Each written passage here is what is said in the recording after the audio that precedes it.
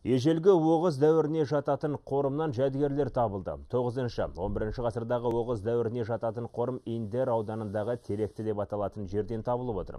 Бұған дейін ауыл тұрғындары университет ғалымдарына осы маңайдан адам сүйегін сауыт сайман түрлерін тауып алғандықтарын хабарлаған.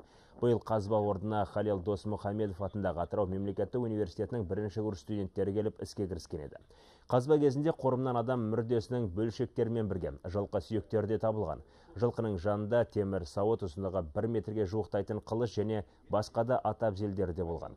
Ғалымдар бұл темір сауыт адамға емес атқа арналған деген тұжырым жасап отыр. Өйткені сауыттың салмағы 20 килограмм ұзындығы бір метрден асады.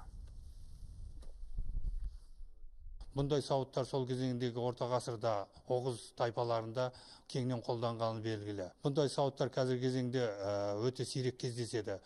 Атырау жеріндегі құм шағылда нарынқұмдағы шағылында бұл сауыт өте жақсы сақталған бұл құрғақ климаттың арқасында.